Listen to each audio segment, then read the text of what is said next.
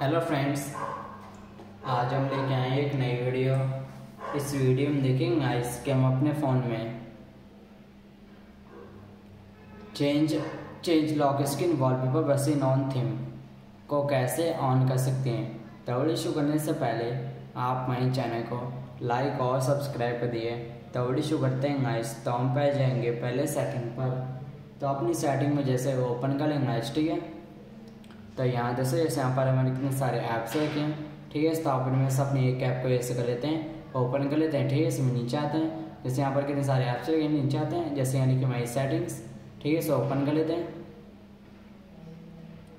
जैसे हमारी सेटिंग्स हैं, ये हमारी हो चुका ओपन ठीक है, जैसे यहाँ पर हमारे कितने सारे टॉपिक्स रखे हैं, ठीक है तो आप इनमें से अपने एक टॉपिक को जैसे कर लेते हैं ओपन कर लेते हैं, ठीक है ऐसे में नीचे आते हैं, जैसे यहाँ का लॉक स्क्रीन बस वॉलपेपर ठीक है, इसे ओपन कर लेते हैं। जैसे लॉक स्क्रीन वैसे वॉलपेपर है। ये हमारा वॉच का ओपन है इसे नीचे आते हैं। जैसे यहाँ का लॉक स्क्रीन सेटिंग्स ठीक है, इसे ओपन कर लेते हैं।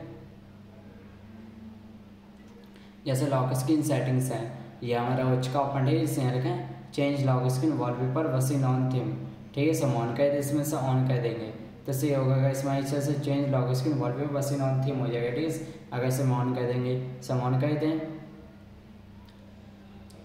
तो यहाँ दिस में इसे चेंज लॉक स्क्रीन वॉलपेपर सी नॉन थीम है ये हमारा ओच का ऑन